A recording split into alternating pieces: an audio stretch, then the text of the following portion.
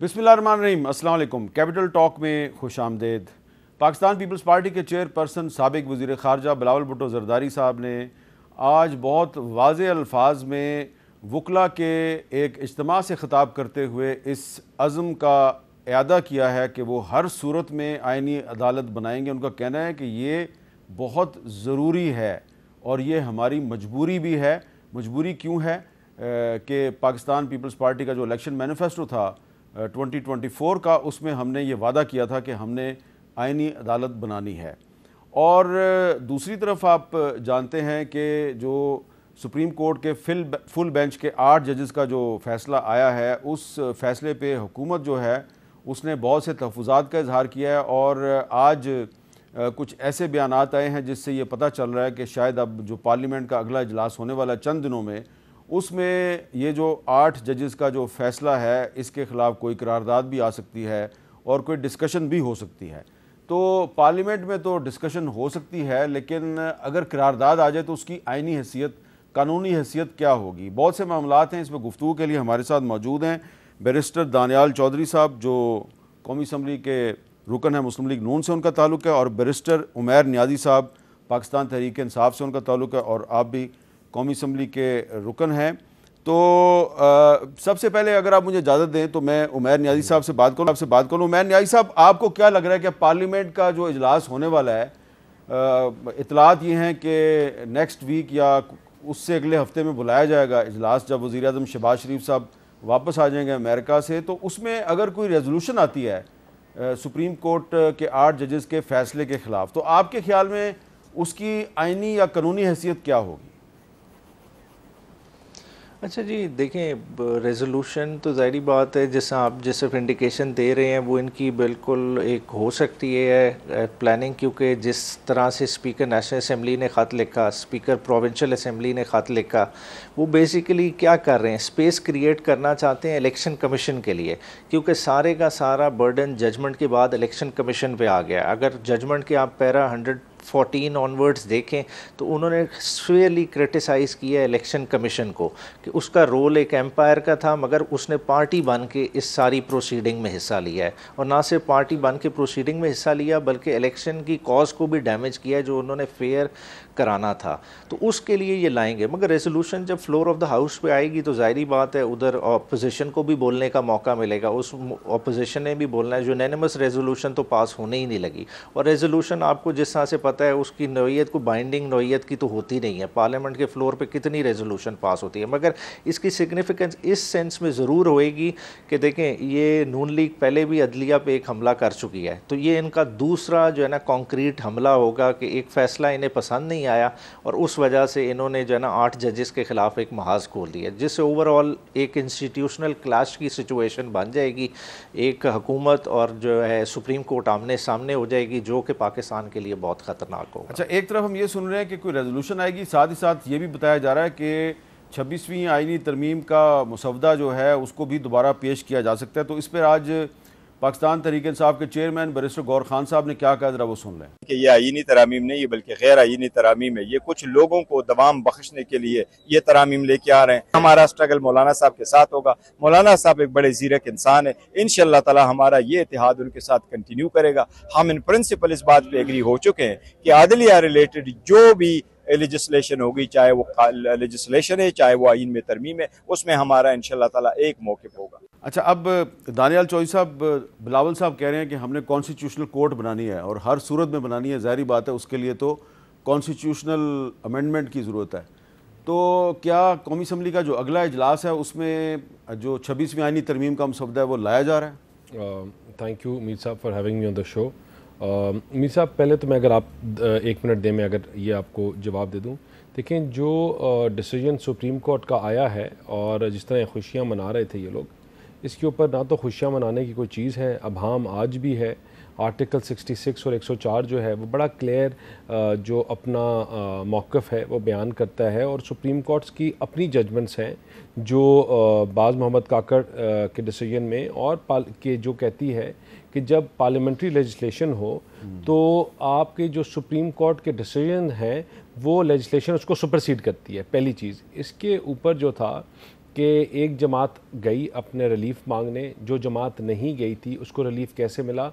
और इस तरह कैटेगराइज करके आपने सवालिया निशान आपके सामने हैं। लेकिन जो पावर्स हैं वो सुप्रीम कोर्ट के पावर्स जो हैं वो लामहदूद नहीं है। सुप्रीम कोर्ट के पास ये पावर ज़रूर है कि वो किसी चीज़ की इंटरप्रटेशन कर सके तशरी कर सके लेकिन ये पावर उनके पास नहीं है कि वो आइन की जो शिक मौजूद है उसको रीराइट करे। और कॉन्स्टिट्यूशन में आर्टिकल 51 और 106 बड़ा क्लियर एक चीज़ कहता है जिसको आप मैं या कोई भी चाहें वो नहीं तब्दील कर सकते। और वो ये कहते हैं कि तीन दिन का टाइम है आपने एक पॉलिटिकल पार्टी ज्वाइन करनी है। और आपने जब आपने एक पॉलिटिकल पार्टी ज्वाइन कर ली तो फिर वो डिसीज़न जो है इरिवर्सिबल है। उसको आप वापस लेके नहीं कर सकते। तो सुप्रीम कोर्ट अपनी जजमेंट और ख़ास तौर पे अब जो जजमेंट आई है इसके इससे पहले एक अमेंडमेंट आ चुकी थी जिसने आइन की उन शिकों को रीट्रेट किया और दोबारा कुछ अमेंडमेंट्स लेके आए। तो उसके बाद इन तमाम चीज़ों की कोई लीगल कानूनी हैसियत नहीं रहती। दूसरा उन्होंने इलेक्शन कमीशन के ऊपर जो आपने बात की वो अपना व्यू या पॉइंट ऑफ़ व्यू लाजमी दे सक, दे सकते हैं, ये उनकी है एम्बिट में है, लेकिन इलेक्शन कमीशन को डिक्टेट नहीं कर सकते कि उसने किस तरह काम करना है।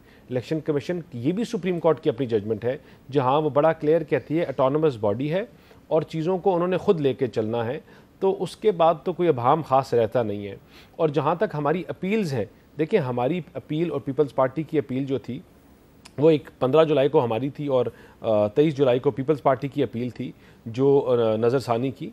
वो आज तक पेंडिंग है और इन तमाम चीज़ों की उसकी रोशनी में हम हमें हम बड़े क्लियर भी हैं और हमें ये भी बड़ा यकीन है कि जो अभी अप्रहेंशन या चीज़ें थोड़ी सी और कन्फ्यूज़न क्रिएट हो गई है क्योंकि इस डिसीज़न के बाद ये डिटेल ऑर्डर आने के बाद वो तमाम चीज़ें जो है उस अपील तो में क्लियर हो जाएँगी। छब्बीस में आईनी तरमीम ला रहे हैं या नहीं ला रहे हैं? देखें आइनी तरमीम जो है वो पार्लियामान का राइट है और हम इन बहुत जल्द तरमीम लेके आएँगे और वो क्यों लेके आएँगे? वो इसलिए लेके आएँगे कि पाकिस्तान में आज पच्चीस हज़ार तीस हज़ार से ज़्यादा केसेस बैग वो आपकी बात बिल्कुल ठीक है लेकिन तरीक इंसाफ का दावा है कि मौलाना फजल रहमान साहब आपके साथ नहीं उनके साथ अच्छा मौलाना फजल रहमान कौन से फजल रहमान की बात कर रहे हैं? जिन्होंने दो दिन पहले इंटरव्यू में कहा कि मैं डे वन से कह रहा हूँ कि इमरान खान अमरी उसका इसराइल का एजेंट है उसी मौलाना के आ, की बात कर रहे हैं जिनको ये मौलाना डीजल कहते थे।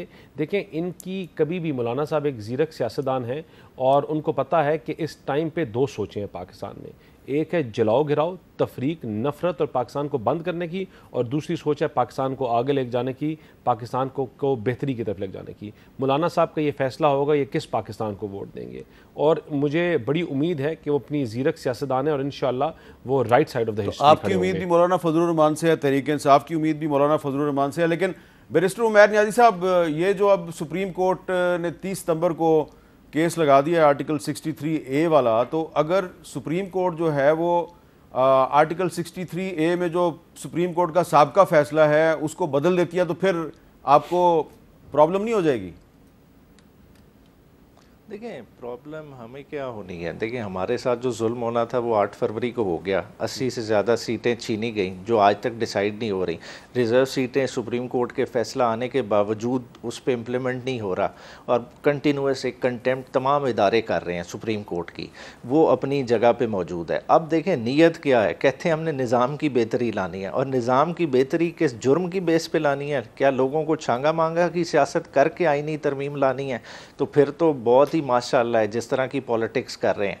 बात है ये मतलब चीज़ें सिट इन नहीं करती। आप कॉन्स्टिट्यूशनल स्कीम ऑफ़ थिंग्स में, आप कॉन्स्टिट्यूशन में मेजर चेंजेस की बात कर रहे हैं। जब मेजर चेंजेस करनी होती है कॉन्स्टिट्यूशन में एक राइट दिया हुआ अमेंडमेंट का, मगर वो आर्बिट्रेरी राइट नहीं है। बात है कि आप ये राइट आप डिराइव करते हैं आवाम से। अवाम से जो लोग मैंडेट लेके आते हैं ये उन्हीं का हक होता है। सत्रह सीटों वाली जमात का हक नहीं होता या उस जमात का भी हक नहीं होता कि जिसने अपनी इलेक्टोरल कैंपेन में इस चीज़ को हिस्सा ही ना बनाया मतलब अवाम ने इस चीज़ पे तो इन्हें सत्रह सत्रह सीटों वाली जमात को ही तो बिठाया हुआ है। नहीं सत्रह सीटों से तो ज़्यादा इनकी सीटें ही नहीं है। अच्छा ये आपका क्लेम है ना? ये तो हमारी सीटों पे बैठे हुए हैं। अच्छा। आज तो क्लेम को साबित नहीं होने दे रहे ना जो रुकावट डाली हुई है ट्राइब्यूनल में आज एक महीने में फैसला हो जाए उसके बाद बेशक तरामीम ले आए।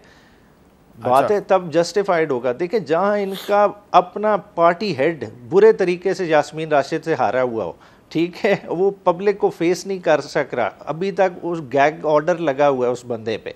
तो उससे एक्सपेक्ट कर रहे हैं कि वो आईनी तरमीम लाएँगे। तो मतलब ये तो बहुत शर्मनाक बात है। लेकिन ये जो कह रहे हैं कि मौलाना फजल रहमान से इनको उम्मीद है आपको भी उनसे उम्मीद है। आज बैरिस्टर गौर साहब ने कहा जी कि नहीं। ये कॉन्स्टिट्यूशनल अमेंडमेंट पे हमारा उनसे इतिहाद है। आपको आपकी उम्मीद भी कायम है मौलाना फजल रहमान से? अच्छा नहीं, मैं इसको थोड़ा सा डिफरेंटली देखता हूँ। देखें, इस वक्त मौलाना साहब जिधर खड़े हैं और इमरान खान जिधर खड़े हैं, इमरान खान वहाँ खड़े हैं बाय चॉइस और इमरान खान ने उस चॉइस की वजह से एक लैंडस्लाइड विक्ट्री लिया आठ फरवरी को। मौलाना साहब को भी नज़र आ रहा है कि वोट बैंक किस तरफ़ है, किस नैरेटिव ने आगे फ्यूचर में कैरी करना है। अब शॉर्ट टर्म मौलाना साहब खेल नहीं सकते, क्योंकि देखें के पी के की सूरत हाल बलोचिस्तान की सूरत हाल आवाम के सेंटिमेंट का उन्हें पता है। यही दो सूबे हैं जिधर से उन्होंने इलेक्शन कंटेस्ट करना है। तो वो रिस्क ही नहीं ले सकते कि ऐसी इंटरप्राइज का हिस्सा बने जिसको बैक कर रही हो इस्टेब्लिशमेंट क्योंकि ये इनकी होम ग्रोन तो नहीं अमेंडमेंट ना। ये अमेंडमेंट तो इन्हें दी गई है। ये इन्हें विरासत में मिली है और इन्हें मजबूर किया जा रहा है कि इसको कैरी कराएँ। तो अवाम इसे अमेंडमेंट को और नज़र से देख रही है और उसमें मेरा नहीं ख्याल मौलाना साहब अपनी सियासत को डिस्ट्रॉय करेंगे फॉर शॉर्ट टर्म गेन जी इस पर आप क्या कहेंगे जी? मीर साहब पहले तो मैं ये फिर मैंने कहा कि मुझे बड़ी खुशी होती है कि मौलाना साहब ने फाइनली कहने शुरू किया है और एक वो जिस तरह मैंने कहा वो जीरक सियासतदान है उनको इसी तरह रेफ़र करना चाहिए था जो पिछले तीस साल से तसलसल है इनका गाली गलोच नफरत और ये नज़रिया ज़रूरत के जब कोई वैसे उनको मौलाना डीजल पीटीआई ने नहीं कहा था। नहीं, चलें, जो जितना उन्होंने बदनाम किया, किसने भी नहीं किया और जो ये बातें करते रहे।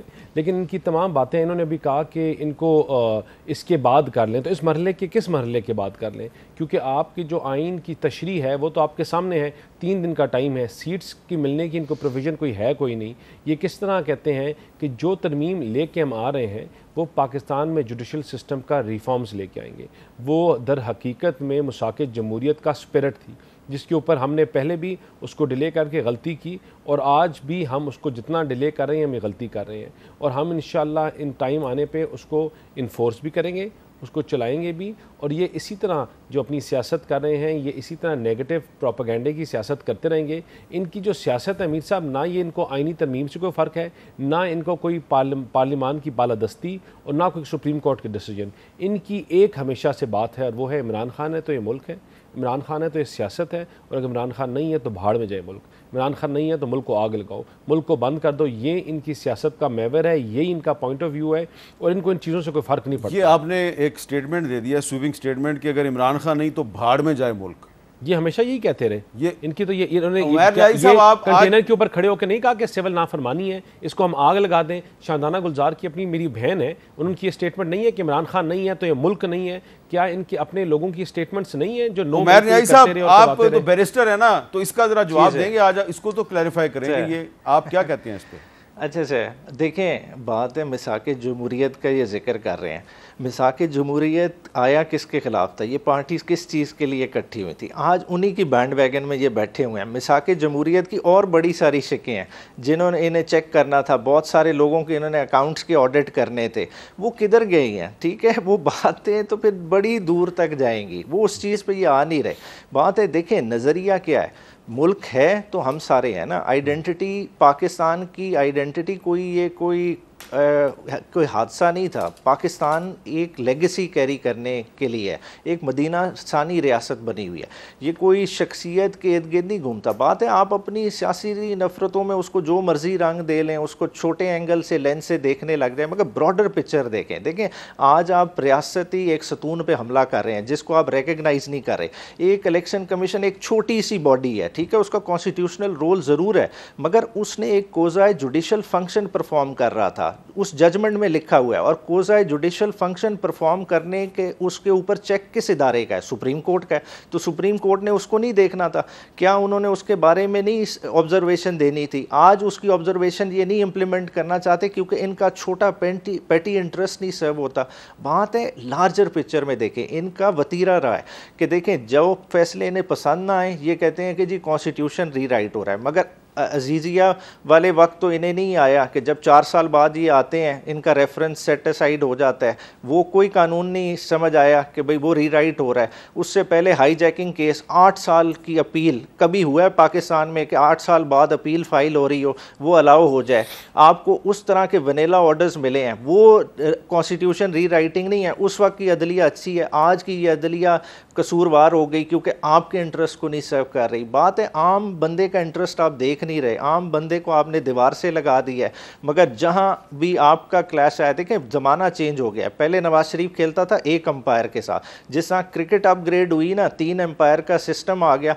हमारे यहाँ भी ये भी अपग्रेड हुए। इन्होंने तीन तीन एम्पायर्स के साथ मिल के खेलना शुरू कर दिया। मगर फिर भी अल्लाह की कुदरत देखें कि तीनों एम्पायर्स मिला के भी इन्हें हजीमत का सामना करना पड़ा है। अच्छा अब दानियाल चौधरी साहब वो भी जजेस का ज़िक्र कर रहे हैं, आप भी जजेस का ज़िक्र कर रहे हैं। ये मैं चाहता हूँ क्योंकि आप भी पार्लियामेंटेरियन हैं और उमेर साहब भी पार्लियामेंटेरियन हैं। ये जो एक नया ट्रेंड है कि तेरा जज और मेरा जज आपको वो जज पसंद नहीं है जो फैसला दे रहे हैं जिसका फ़ायदा तहरीक इंसाफ को होता है और उनको वो जज पसंद नहीं है जिसका फ़ायदा जो है वो आपकी पार्टी की लीडरशिप को होता है। और कल से जो सिचुएशन है वो ये है कि चीफ जस्टिस काजी फाजीसा साहब जो हैं उनको सदारती ऑर्डीनेंस के ज़रिए जो इख्तियार मिले हैं तो उसके तहत जो जजेस कमेटी की तश्कील नो हुई है तो उसमें पहले मंसूर अली शाह साहब ने बैठने से इनकार किया है। फिर मुनीब अख्तर साहब जो हैं उन्होंने बेंच में बैठने से इनकार कर दिया है। जजेस की तकसीम बड़ी वाजे है। ऐसा लग रहा है कि जिस तरीके से पोलिटिकल पार्टीज़ के आपस में इख्तलाफात हैं तो सुप्रीम कोर्ट के जजेस के भी ऐसे ही इख्तलाफात हैं। आपको बतौर एक पाकिस्तानी शहरी इस पर तशवीश नहीं हो रही कि ये हम किधर जा रहे हैं? मीर साहब, देखें हमारा तो ये इनकी चॉइस है कि हमारी मर्ज़ी का या इनकी मर्ज़ी का जज हमें तो ना जस्टिस मंजूर अली शाह के ऊपर या किसी और जस्टिस के ऊपर कोई अप्रीहेंशन है। जो उनके आपस में इंटरनल जो उनके तहफ़ात हैं तो वो ख़ूबसूरती है इस निज़ाम की, जो जहाँ वो अपने व्यूज़ और अपने डिसेंटिंग नोट्स जो हैं, किसी को डिग्रेड किए बगैर एक दूसरे के ख़िलाफ़ लिख सकते हैं। ये पार्लियामान की हिस्ट्री में पर पहले भी देखा गया। लेकिन यहाँ जो बात हो रही है देखें इन इनकी इन, ये चीखें क्यों मार रहे हैं? या ये इस तरह शोर क्यों डाल रहे हैं? ये इसलिए डाल रहे हैं कि इनको पता है कि मुल्क बेहतर सिमत में जा रहा है। आपकी इन्फ्लेशन आज सिंगल डिजिट की पे चली गई है। आपकी महँगाई की शरह में कमी हो गई है। मुल्क बेहतरी की तरफ़ जा रहा है। हम रात को उठते थे तो बीस रुपये की छलांग मारता डॉलर और अगले दिन तीस रुपये की मारता था। यहाँ चीज़ें एक बेहतरी की सिमत की तरफ़ जा रही हैं और ये तमाम इंडिकेटर्स जो हैं, इनके ख़िलाफ़ हैं। क्योंकि ये वही जमात है जो हाथ उठा कर दवाएँ करी थी आई एम के आई एम एफ़ का माहा पाकिस्तान के साथ ना हो, पाकिस्तान कल डिफ़ॉल्ट हो, परसों हो आई एम एफ़ के बाहर बैठ के प्रोसेशन कर रहे थे कि पाकिस्तान के साथ अगर आई एम एफ़ ने निगोशिएट किया तो हम चलने नहीं देंगे, हम मुल्क को आगे बढ़ने नहीं देंगे। ये वही लोग हैं। आज ये मुल्क की बात करें, किस मुल्क की बात कर? रहे हैं। जिसकी पॉलिसी को ये नहीं मानते या उस कानून की, जिसकी पॉलिसी को ये एक्सेप्ट करने से इनकारी हैं और कहते हैं कि हम अफ़गानिस्तान के जो झंडे लगाए, वो लोग हमारे सीने के, हमारे दिल में हैं या उस पॉलिसी की बात करें जो आपके मुल्क की अलग पॉलिसी और ये कहते हैं कि जाके हम अफगान बाशिंदों से अपनी पॉलिसी बनाकर बात करेंगे। इन्होंने पाकिस्तान को कभी भी आगे नहीं रखा। इनकी सियासत में अगर पाकिस्तान आगे होता तो ये परवेज़ लाई को जिसको चोर कहते थे, उनकी बात सुनते और असम्बलियाँ ना तोड़ते। पाकिस्तान को मुस्तकम करते, चीज़ों को आगे लेके जाने की कोशिश करते। तब भी एक बंदा इमरान खान, उसकी अना, उसकी मैं ने इन जमात को यहाँ पहुँचाया और आज भी इनकी अना की वजह से यहाँ तक पहुँचे हैं। और ये वो पहलवान है कि हर दफ़ा अपनी गलतियों को तइयों से गिरते हैं, अपने मौके से खुद गिरते हैं और ये आगे भी जाके खुद गिरेंगे। ये कबर जो है इन्होंने खुद खोद दी है। जो पाकिस्तान में नफ़रत के बीज बोए हैं जो पाकिस्तान में इन्होंने झूठ जो पाकिस्तान में तफरीक ये सूबों के ऊपर की है इन्होंने ये इनकी पैदावार है और कबर खोदी जा है, है? मुल्क जो है ये मुल्क जो है ये उस तरफ़ जा रहा है जहाँ ये लेके जाना चाहते थे। कबर खोदी जा चुकी है? ये बहुत अरसा पहले खोद चुके हैं। अपनी सियासत को खैराबाद कर चुके हैं। मीर साहब ये एक सिंगल जो एक टांगा टांगा की जमात थी। एक सिंगल बंदे की जमात थी उसको कोई उठा के बैठा कर यहाँ लेके आया और वो भी खैराबाद हो गया है वो सोच भी खैराबाद हो गई है और ये भी। पाकिस्तान को आगे लेके जाने के लिए एक सोच को पानी देना पड़ेगा। वो नफरत या नफरत और तकसीम की या पाकिस्तान को आगे जो हम इस वक्त यहाँ गुफ्तगू कर रहे हैं सोच है वो नफरत बढ़ेगी या कम होगी? अच्छा उमैर नियाजी साहब उमैर नियाजी साहब ये तो बताए ना कि ये जो पाकिस्तान का आईएमएफ के साथ एक पहले एग्रीमेंट हुआ है अब वज़ीर ख़जाना साहब कह रहे हैं जी कि कल परसों तक एक और माहा भी हो रहा है सात अरब डॉलर और पाकिस्तान को मिल जाएगा। तो ये जो हुकूमत है इसने जो आईएमएफ के साथ जो जो माहा पहले भी किया और अब एक और होने वाला है तो ये अच्छा काम नहीं है इस हुकूमत का? देखें, कशकोल तो टूटना चाहिए, जिस तरह से भी हो, जितनी जल्दी आईएमएफ से जान छुटे। बात यह है आईएमएफ से कर रहे हैं आईएमएफ लिंगर ऑन करते करते इन्हें इस स्टेज पे ले आया। अब इन्हें मजबूरन क्या करना पड़ेगा? दोबारा एक और मिनी बजट पास करना पड़ेगा, और सख्तियों का सामना करना पड़ेगा। आईएमएफ के कहते कहते ये तीन ट्रिलियन डॉलर तक टैक्सेशन ले गए एफबीआर की, डायरेक्ट टैक्सेशन। ठीक है, जो आपने आज तक ये टारगेट अचीव ही नहीं किया, फाइव ट्रिलियन डॉलर का इंक्रीज़ है। ताजर जो स्कीम जिस तरह से पिटी, आपने खुद देखा, पूरे पाकिस्तान में ताजरों ने हाथ कट्ठे, खड़े कर दिए। अब वो पाँच ट्रिलियन डॉलर रेस किधर से होना है? देखें, ये ऑलरेडी सैलरी क्रास से निकालेंगे किधर से? टैक्स चोरों को तो इन्होंने पकड़ा नहीं। उन्हें तो उसी तरह से एमनेस्टी दी हुई है। बाकी मुल्क में तमाम कारोबार बंद हो गए। जो अगर सेंसिबल गुफ्तगु करें तो टेक्सटाइल सेक्टर को देख लें। हज़ार से ज़्यादा टेक्सटाइल इंडस्ट्री खाली फैसलाबाद में बंद हुई है। मतलब लोग स्क्रैप में, मिलें बेच रहे हैं। तो जिस वक्त आप compete ही नहीं कर सकते, आपने इस सिचुएशन से निकलना क्या है? मतलब आप सात बिलियन डॉलर आ भी जाएँगे तो उसको क्या सेलिब्रेट करें? बात है, पाकिस्तान की डेस्टिनी बहुत बड़ी है। देखें, पच्चीस करोड़ का मुल्क है। पच्चीस करोड़ का एक कंज्यूमर बेस इकॉनमी हो, वो रींग रही हो तो समझें कुछ गलत है। बात है कार्टिलाइजेशन को हम तोड़ नहीं सकते। क्यों नहीं तोड़ सकते? क्योंकि हमारे मफादात उनके साथ जुड़े हुए हैं। अगर आई पी पी को खोल के देख लें, सारे हिस्सेदार उनमें वही लोग हैं जिन्होंने वो एग्रीमेंट साइन कराए हुए हैं, जो इस मुल्क का खून चूस रहे हैं। उस तरफ़ हम फोकस ही नहीं कर रहे। हमें है कि जो ऑलरेडी सैलरी क्लास है, पिसे हुए हैं, बस उनको और पिसाएँ और वक्ती तौर पर अपना टाइम गुजारें। बाद की बाद में छोड़ देंगे। इस्टेबलिशमेंट ने इस मुल्क को संभालना है। ये वाली सोच से चल रहे हैं। हालाँकि ये सियासतदान का इख्तियार है। सियासतदान ने संभालना है। आपका बजट पास हुआ। फ्लोर ऑफ़ द हाउस पे आपने कोई प्रॉपर डिबेट उस पर करने दी? आपने कहा नहीं जी ऑपोजिशन का आठ घंटे टाइम है बस इसी में बात करना है। हालाँकि प्रॉपर डिबेट एक एक शिक पे एक एक चीज़ पे होनी चाहिए थी। देखिए लॉजिकली बहुत सारी चीज़ें डिस्कशन से ठीक हो सकती हैं मगर आप फ्लोर ऑफ़ द हाउस पे और इर्द गिर्द आप मौका ही नहीं दे रहे। आप बस डिक्टेशन पे चल रहे हैं। मतलब आप फाइनेंस मिनिस्टर की स्पीच उठा के देख लीजिए। मैं ऐसे हवा में बात नहीं कर रहा। फाइनेंस मिनिस्टर का ये बजट हमें आईएमएफ ने दी है। जब इस तरह से देंगे तो फिर आप कैसे चलेंगे? फिर तो जिसने कर्जा दिया है आप उसका इंटरेस्ट तो वॉच कर रहे हैं। आप इंश्योर इंश्योर कर रहे हैं उसको रिकवरी फाइनेंस मिनिस्टर ने कौम से झूठ नहीं बोला उसने साफ़ साफ़ बता दिया कि ये बजट जो है ये हमें आईएमएफ ने दिया है। नहीं, वो बिल्कुल ठीक है उन्हें झूठ नहीं बोला, मगर नुकसान तो है ना। बात है कि डिस्कशन नहीं करेंगे, चीज़ों का हल निकाला जा सकता है। देखिए, बहुत सारी रेवेन्यू सोर्सेज हैं जिनको आप दिनों में जनरेट कर सकते हैं।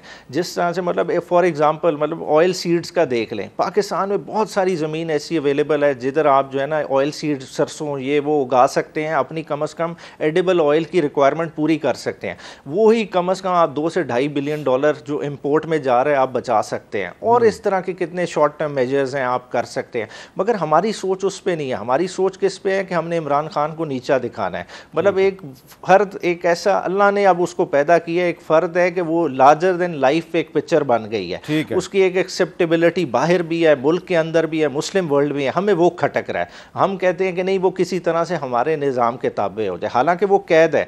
आपने जेल में उसे इसलिए डाला था कि वो डर जाएगा। अब आप डर रहे हैं कि वो बाहर ना आ जाए। अच्छा यहाँ पे मैं एक ब्रेक लेता हूँ। ब्रेक के बाद दानियाल चौधरी साहब जो हैं, वो ये भी बैरिस्टर हैं और उमैर न्याजी साहब भी बैरिस्टर हैं तो इनसे कुछ कानूनी सवाल लेकिन फिर कुछ सियासी सवाल भी करते हैं।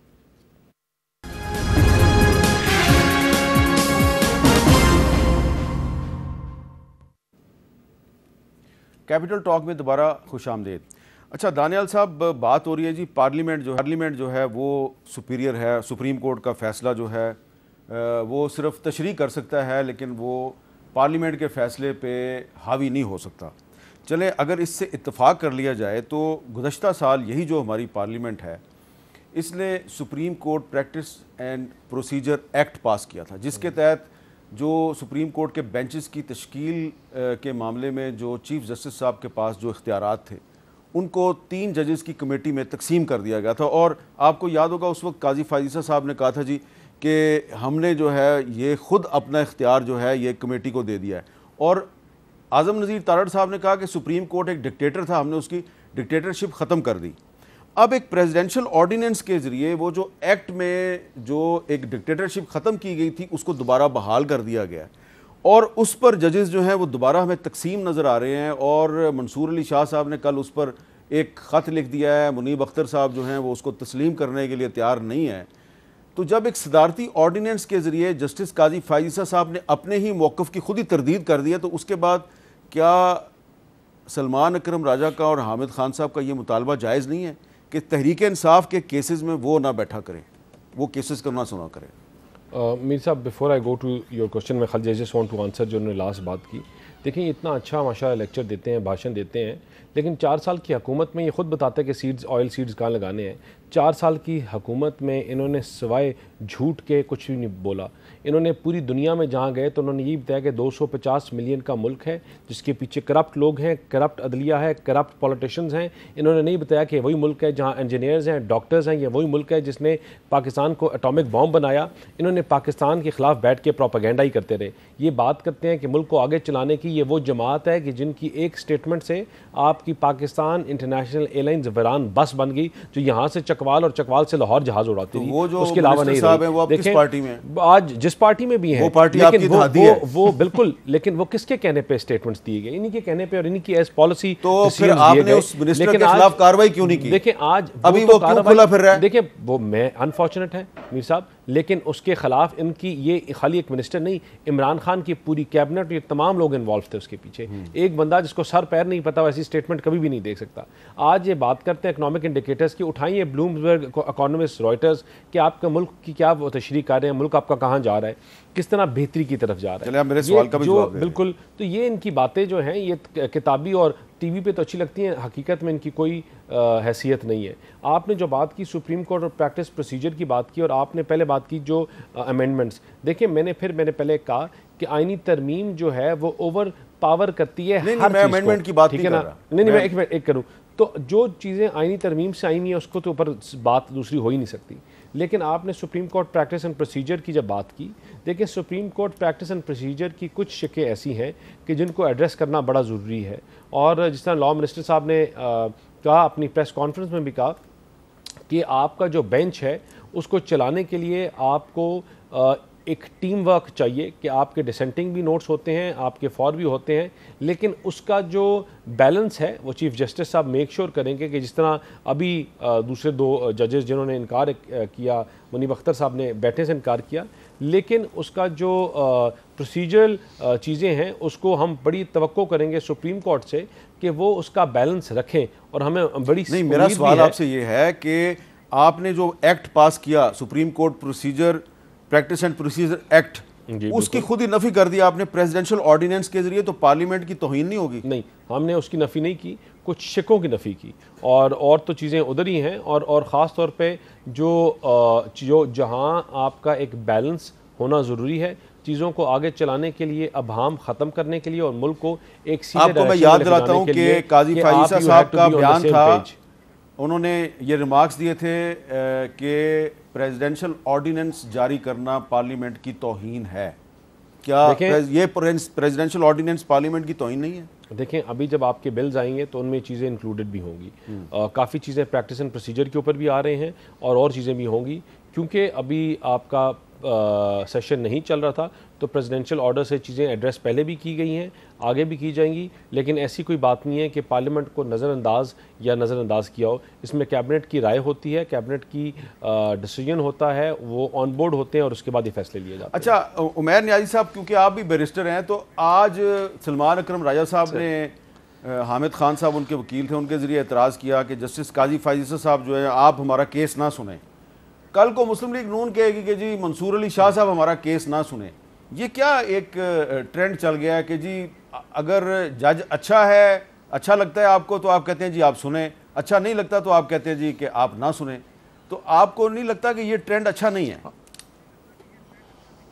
अच्छा देखें जजेस पे इतराज़ होता भी रहता है और जब इतराज़ किया जाता है विद रीजंस किया जाता है। ठीक है, इधर आप रीजंस क्या हैं? कि मतलब एक, आप आइनी अमेंडमेंट ले आए हैं, ठीक है, जो एक सर्कुलेशन में आ गई, जिससे एक एतराज़ उठ रहा कि ये पर्सन स्पेसिफिक लेजिस्लेशन लाई जा रही है।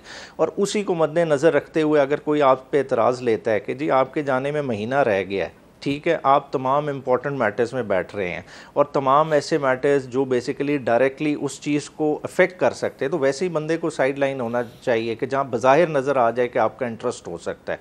तो उन्होंने उस लाइन पर लिया तो मेरा नहीं ख्याल है उसमें कोई कदगन है तो उसमें मेरे ख्याल से उन्हें अपने आप को अलहदा करना चाहिए था। बात है कि वो अब ये बैक टू बैक कोऑर्डिनेशन के साथ चीज़ें आ रही हैं कि ऑर्डिनेंस की जो आपने बात की ऑर्डिनेंस पे खुद काजी फाइज ईसा साहब का बड़ा कैटेगोरिकल व्यू था कि इमरजेंट सिचुएशंस के लिए ठीक है तो कौन सी इमरजेंट सिचुएशन आ गई? इमरजेंट सिचुएशन ये है कि आइनी तरमीम इस मुल्क में पास नहीं हो सकती जब तक फ्लोर क्रॉसिंग ना हो। उसका माहौल बनाना है। फिर देखें रिज़र्व सीट का फ़ैसला पसंद नहीं आ रहा। नवाज़ शरीफ साहब की पुरानी स्टेटमेंट उठा के देख लें। उन्हें एक मिनट फालतू जो है ना, गिलानी साहब का दफ्तर में रहना पसंद नहीं आया था। उन्होंने तकरीर दे मारी थी उस वक्त कि हम इंसानों की बस्ती में रहते हैं, हम हैवानों की बस्ती में नहीं रहते। तो क्या आज वो लॉजिक अप्लाई नहीं होती? आज वो सुप्रीम कोर्ट नहीं है? आज वो माहौल नहीं है? आज वो बस्ती बदल गई है? आज मतलब जोम्बीज़ आ गए अच्छा दानियाल साहब? खाली एक चीज़ ऐड करूँ। हाँ। देखिए आपने जो जिसकी आप बात कर रहे हैं कि जो आज भी गाजी फाइजा साहब ने कहा कि जो यहाँ है जजेस के जो बाज़ डिसीजंस हैं उनमें आपको एक ऐसा रवैया नज़र आना चाहिए कि जो आपको नज़र हो कि आपकी मुल्की जो चीज़ें जिस तरफ़ चल रही हैं उसको उसको नज़र में रखे हुए उसकी इंपॉर्टेंस अपनी नज़र में रखे हुए और बैलेंस डिसीजंस देखें आज जो अभी अब हम डे वन से शुरू हुआ है वो पंजाब गवर्नमेंट ख़त्म होने से आज तक ठीक है ना? ये एक जज के दूसरे जज के तीसरे जज के चौथे जज से घूमते घूमते आए हैं। आज ये फिर जो डिसीज़न है, इसमें भी जो अवाम है, ये भी इन्हीं चीज़ों की वजह से ही है कि आप जब जजेस जो हैं, आपके, आप वन यू मेकअप जब उनका कॉन्स्टिट्यूट करते हैं तो आपको ऐसे लोगों को, ऐसे केसेस में कॉन्स्टिट्यूट करना चाहिए कि जो इस चीज़ को समझते हों इसकी इंपॉर्टेंस समझते हों और मुल्क की सलामती की इंपॉर्टेंस आज आप जहाँ खड़े हैं we can not afford right now कि हम और अभाम के ऊपर अभाम के ऊपर अभाम लेके आएँ कि चीज़ों को आगे चलाना है बेहतरी की तरफ़ चलाना है और जब तक आपकी कंटिन्यूटी ऑफ़ पॉलिसी नहीं होगी चीज़ें आगे नहीं जा सकती हैं। आप और ये सुप्रीम कोर्ट की प्रोगेटिव है कि एक महीना रहे चीफ जस्टिस का या दस दिन रहे कि वो कब तक बैठे जैसे मर्ज़ी बैठे। ये कोई कदगन नहीं है कोई लॉ ना रोकता है ये इनकी विशेष तो हो सकती हैं इसके अलावा कुछ भी नहीं। अच्छा ये बताएँ कि आप जिस शहर से इलेक्ट हुए हैं एम एन ए वहाँ पर तहरीक इंसाफ अट्ठाईस सितंबर को जलसा करने जा रही है तो इजाज़त मिल जाएगी उनको जलसा करने की? देखिए, इन्होंने एक जलसा पहले लाहौर में किया, जहाँ लाखों और करोड़ों लोग लेके आने थे, इनके गंडापुर साहब ना पहुँच सके, ना आवाम निकली। लोगों ने इनकी सोच को, इनकी जो जलाओ, घराओ, तफरीक और नफरत की सोच है, लोगों ने उसको खैराबाद किया है। और रावलपिंडी में इनको अगर इजाज़त मिली तो मुझे तो लगता है इनकी दो कॉन्ट्रोडिक्टिंग स्टेटमेंट खुद आ गई हैं। एक मियाँ वाली कह रहे हैं वो इनके चीफ मिनिस्टर मियाँ वाली उन्होंने कहा पाँच अक्टूबर। नहीं लेकिन उनकी कल की जो स्टेटमेंट है वो मेरे पास पाँच अक्टूबर मीनार पाकिस्तान लाहौर है। और ये मियाँ वाली वाला जलसा जो है ये लेकिन, लेकिन जो उन्होंने कल वाली उसके बाद है। उसमें उन्होंने कहा है कि पहले हम मियाँ वाली करेंगे और फिर करेंगे उसके बाद चले ये, ये उमैर नियाजी साहब तो उसको बता देंगे ना। लेकिन आप ये बताएँ कि आप अपने शहर में इजाज़त दे रहे हैं देखिए उसके अगर ये टी को चीज़ों को पूरा करेंगे तो इनको लॉ इन्फोर्सिंग एजेंसीज ने और जो है उन्होंने इजाज़त देनी है। वो अच्छा मैं आपको एक थोड़ी सी थोड़ी सी इंटरेस्टिंग चीज़ भी बताता हूँ ना। आपने लाहौर के जलसे का ज़िक्र किया आपने कहा वो जलसा नाकाम हो गया। तो एक एफ़ आई आर दर्ज हुई है जी लाहौर के जलसे के हवाले से, और उसमें हमाद अदर साहब को पुलिस से छुड़ाने का इल्ज़ाम लगाया गया है। शेख इम्तियाज़ और आलिया हमज़ा के ख़िलाफ़ एफ़ आई आर दर्ज हुई है। अब वो हैं जी, मुदई कौन है? सब इंस्पेक्टर फरीदुल अक्सा वो कहते हैं जी कि मैं दीगर मुलाजमीन के साथ मवेशी मंडी के पास मौजूद था। इतला मिली कि पी टी आई रहनुमा हमाद अजहर जलसा में मौजूद हैं। हम इश्तहारी मुलम हमाद अजहर की गिरफ्तारी के लिए जलसा गाह पहुँचे और स्टेज पर मौजूद मुलम को काबू करके नीचे उतारा। मौका पर मौजूद मुंतजमीन जलसा शेख इम्तियाज़ और आलिया हमजा ने मजामत की और मेरी सरकारी यूनिफॉर्म की शर्ट फाड़ दी। वो मुलम हमाद अजहर को पुलिस की गिरफ्त से छुड़ाकर ले गए। रश की वजह से मुलम भागने में कामयाब हो गया। शेख इम्तियाज़ और आलिया हमजा ने इश्तारी मुलम को पुलिस की गिरफ्त से छुड़वाकर जुर्म का irतकब किया है। लॉ एंड ऑर्डर ड्यूटी मसरूफियात की वजह से बर वक्त इस्तगासा अरसाल ना कर सका। अब बरए कार्रवाई इस्तगासा अरसाल थाना है। अब मुझे ये बताएँ कि अगर स्टेज पर उन्होंने झपट्टा मार के मुलजिम को गिरफ़्तार कर लिया हमाद अजहर को। तो उसकी कोई वीडियो वगैरह क्यों नहीं? देखें इनकी जो वीडियोस तो इनकी मल्टीपल वीडियोस हैं जहाँ गंडापुर साहब गाड़ियाँ तोड़ रहे थे। इनके और लोग हैं और जिस तरह इन्होंने पहले भी जलाओ घेराव किया और उधर भी उस दिन भी बदतमीज़ी का एक अलग तूफ़ान था। लेकिन इस तरह की बात हुई है जो कंप्लेन में आई है उसने इवन दो उस बंदे ने लेट कंप्लेन की या लेट आई लेकिन ये हकीकत में इसके खिलाफ कार्रवाई नहीं होनी चाहिए कि इसने इतनी लेट कंप्लेन क्यों की? मेरे ख्याल से इसके खिलाफ भी शायद कार्रवाई होगी। लेकिन जो दूसरी बात है हमाद अजहर साहब के, उसको जिस तरह छुराया, छुड़ाया गया और बताया गया और उसके ऊपर बड़े स्ट्रॉन्ग शवायद हैं कि ये तमाम चीज़ें हुई, ये एक्ट हुआ और उसके ख़िलाफ़ एफ़ आई आर दर्ज होगी अच्छा मैं उमैर साहब आपसे पूछता हूँ, आपका वर्षन क्या वक्फे के बाद?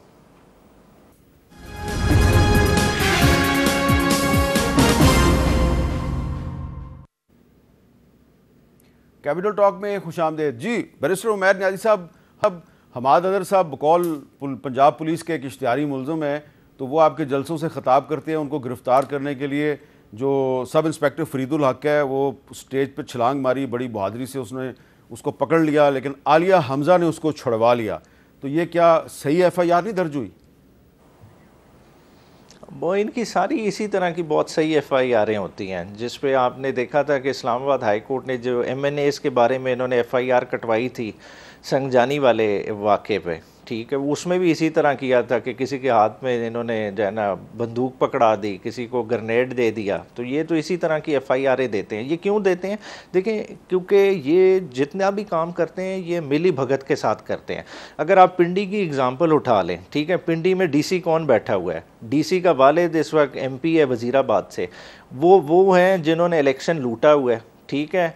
और बाकायदा चीफ जो इलेक्शन कमिश्नर रावलपिंडी था कमिश्नर रावलपिंडी की स्टेटमेंट है जो पिंडी डिवीज़न के इलेक्शन का हाल हुआ आज तक वो किसी ने प्रोब नहीं किया। क्यों? तो क्योंकि ये सबको मिल बांट के चलाते हैं। हाईकोर्ट में तरदीद किसके सामने की है? वो बेचारा तो आज तक आज तक वो सामने नहीं आया।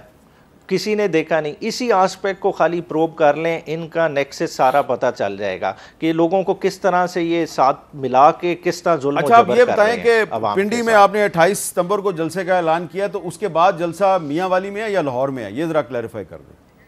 नहीं लाहौर क्या अभी तो स्टेटमेंट लाहौर की सुनी है मगर मियाँ वाली की अभी डेट फाइनल नहीं है जी। अच्छा मियाँ वाली की डेट फाइनल नहीं है। तो आपको क्या लग रहा है कि अगर आपको पिंडी में अट्ठाईस सितंबर को जलसे की इजाज़त मिल जाए तो वैसा ही जलसा होगा जैसा लाहौर में हुआ। नहीं लाहौर का तो बहुत बड़ा जलसा था। वो पिंडी वालों के लिए बहुत डिफ़िकल्ट टास्क होएगा उन्हें पूरा खींचना पड़ेगा। क्योंकि देखें, लाहौर के और डायनेमिक्स थे। लाहौर ने बड़ा भरपूर पार्टिसिपेशन दी, क्योंकि 9 मई के बाद दबा हुआ था लाहौर और लाहौर अचानक उमड़ के आया और इन्हें वो इतनी परेशानी हुई उस जलसे की कि इन्होंने हार्ट ऑफ़ लाहौर से निकाल के बाहर जलसा रखा। हालाँकि मैं समझता हूँ, इन्होंने जो है ना, नारे पाकिस्तान की एक पोलिटिकल सिग्निफिकेंस है। करारदाद पाकिस्तान वहाँ पास हुई। इन्होंने वो कलोनियन माइंडसेट शो किया कि अंग्रेज़ ने नहीं रोका था। वहाँ करारदाद पास होने दी वहाँ लोगों को इकट्ठा होने दिया। मगर ये अंग्रेज़ के इतने ग़ुलाम हैं उसके कवानीन के इतने ग़ुलाम हैं कि आज तक वो चला रहे हैं और उसकी सोच से भी आगे निकल गए हैं। तो दानियाल साहब पिंडी में तो वो कह रहे हैं बड़ा साहब रिंग रोड पे जलसा जो है ना ये ख्वाहिश हो सकती है कि आपके पास खुला मैदान भागो जितना मर्ज़ी बंदा लेके आओ। मैं आपको हल्फन कह सकता हूँ I was going to Peshawar that day जिस दिन इनका जलसा था। इन्होंने कहा था कि हम लाखों लोग पिशावर से लेके आएँगे। मैं पूरे रास्ते में कोई कंटेनर्स नहीं थे कुछ नहीं थे। मैं सुबह गया, शाम को वापस आया। इनका एक रैली मुझे नज़र नहीं आई। ये जो पिशावर के लोग हैं, ये पिशावर से भी लाने में नाकाम हुए, जो गंडापुर साहब ने पता नहीं क्या क्या लेके आना था अपने साथ, ये इनकी सवाए बातें और ये अंदर से मिले हुए हैं। ये तमाम लोग जो है अंदर से इमरान खान की इन बातों को डिसोन करते हैं। इनके मेजोरिटी लीडर्स जो है ये नफरत नहीं सर ये ये ऑन ही नहीं करते। ये ये जो आधे इनके लोग हैं इनके अंदर अपने डिवाइड है। ये अंदर पार्लियामान में आधे लोगों का मुँह राइट साइड पे होता है आधे लेफ़्ट के साइड पे होता है। अभी खाली आप आगे देखें कि चीज़ें इनके आधे लोग तो इनके साथ खड़े होने के लिए तैयार नहीं है। इनका बोझ लेने के लिए तैयार नहीं है। कोई पाकिस्तानी अमेंडमेंट के लिए आप इनका कोई बंदा नहीं तोड़ सके। हाजी इम्तियाज़ को उठा लिया। मुकदमे दर्ज हुए वो गायब रहा फिर वापस आया। उसने भी अपनी सियासी वफादारी तब्दील नहीं की तो बंदे तो सारे उनके साथ हैं। साहब कोई भी इनका बयानिया उठाने के लिए तैयार नहीं है।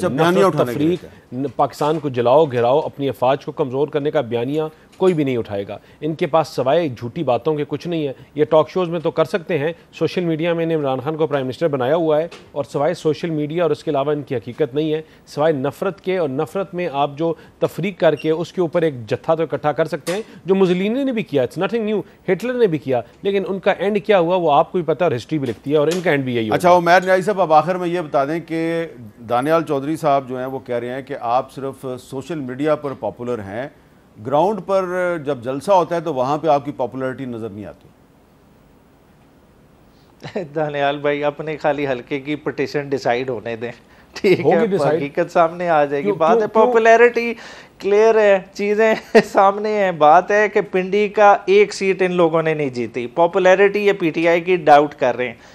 ठीक है किसी एक कैंडिडेट को आज पिक कर लें उसके हल्के का प्रॉपर जुडिशल ऑडिट करा लें आपको सामने साफ़ पता चल जाएगा। बात जिस है अल्लाह के निन्यानवे के नामों के नीचे झूठ उठा रहे हो। दानियाल साहब कह रहे हैं झूठे कि आप उठा रहे हैं, वहाँ क्या रह दानियाल साहब कह रहे हैं कहते हैं हाई कोर्ट में उड़ा दी गई। जिस जिसकी गई उन्हें उड़ा के दे दी गई। आपको मैं यही तो कह रहा हूँ आप लोगों का बयानिया जो है वो आज भी वही बयानिया है कि मुर्गी लो अंडे देगी अंडे के ऊपर पता नहीं खुद बैठो या कट्टे को बताओ बैठाओ कट्टा आगे दूध देगा और उससे मुल्क की मैशत बेहतर करेंगे। आपका बयानिया कल भी वही था आज भी वही है आपकी ना सर है ना पैर है किसी चीज़ का। मतलब का शुक्र है, बहुत हैं, मज़बूत है। हैं बात है चीज़ों को मफामत से आगे लेके जाएँ अगर इकट्ठे बैठ के मफामत से आगे लेके जाएँगे तो चीज़ें बेहतर होंगी रोडों में जलसों में जुलूसों में जलाओ गिराव से ना आपको कुछ मिलेगा ना इस मुल्क को मिलेगा। मिलना जो है वो पार्लियामान से मिलना है और पार्लियामान के लिए है भाई इस तरह दबाव की दबाव की देखें ये कह रहे हैं मफाहमत से चीज़ें चलती हैं मगर दबाव करके देखें जैसे आप हाजी इम्तियाज़ का कह रहे हैं आप एक तरफ़ से बंदे उठाएँ दूसरी तरफ़ से आप कहें कि जी मफाहमत होगी ऐसे कैसे हो सकता है? आप हम लोगों को हम तो क्या आपको समझते हैं? आप लोग नौ मई से पहले खुलेआम दंदनाते फिर रहे सर जी, हम तो ना उठाने वाले नौ मई आपसे आपको पाँच नाम देता हूँ पाँच नाम देता हूँ। आप पाँच नाम नहीं नहीं पाँच नाम देखें औरंगज़ेब खिची नई पंजाब हाउस था। हाजी इम्तियाज़ नई पंजाब हाउस था ठीक है? असलम घुमन पंजाब हाउस नहीं था आपका ये सादुल्ला बलोच पंजाब हाउस नहीं था। देखिए इस तरह के माहौल में किस तरह होएगा? देखें चीज़ों को बेहतर तरीके से देखें। लेजिस्लेशन किसी और की ज़रूरत हो सकती है ये आपकी पार्टी की ज़रूरत नहीं है। इस चीज़ को रियलाइज़ करने की ज़रूरत है। बात है जब ये चीज़ आप रियलाइज़ कर देंगे तो चीज़ें बेहतर हो जाएँगी। टेबल तो टर्न होते रहते हैं। आज आपकी बारी कल किसी और की आ जाएगी हमारी भी बारी आ जाएगी मगर बात है मैं मुल्क इस ने बात से इधर रहना 100% agree उस करता हूँ मुल्क कि आज- चलाने के लिए।